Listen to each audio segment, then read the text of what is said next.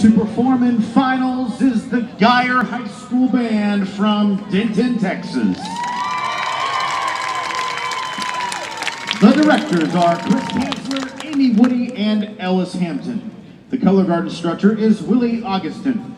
The drum majors are Renee Tennyson, Randall Fears, Amanda Keller, and Kay Louise.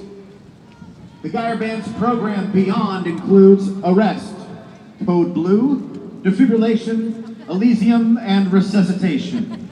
Are the judges ready? Drum majors, is your band ready?